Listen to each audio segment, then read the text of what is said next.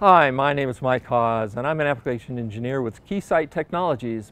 And today I'd like to talk to you about our IntegraVision Power Analyzer and show you how easy it is to make an inrush current measurement. The device we're going to make that measurement on is a pump from Grundfos and this is a high efficiency circulatory pump for heating and cooling homes. We have water inlet coming into the pump and then it's going out into a barrel. So we've got water flowing through. The way we have the pump connected to our instrumentation is first we're using an AC power source to power up the pump. Uh, this is a European pump, so we need 300, uh, 230 volts uh, input. And then we have it directly connected to channel one of the IntegraVision power analyzer.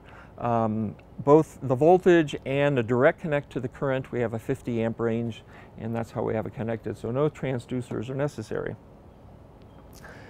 This product is uh, designed and based on an oscilloscope architecture, and that makes it really easy to use. Uh, we're, we're all very familiar with uh, interacting with a, an oscilloscope. So let me go ahead and quickly set up this inrush measurement.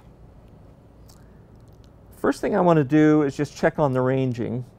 Um, and so I'm going to hit range and check that we have 500 volts range set up and the 10 amp range. I'm expecting the, the current pulse to be somewhere between 5 and 10 amps. So we've got that set up.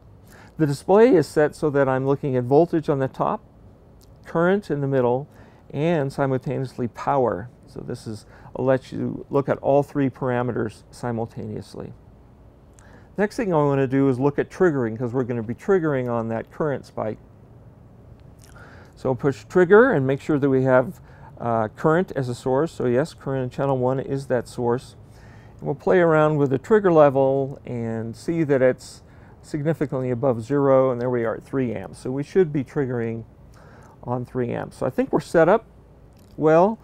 Just like an oscilloscope, we're going to hit a single measurement. So we just come up here and press single.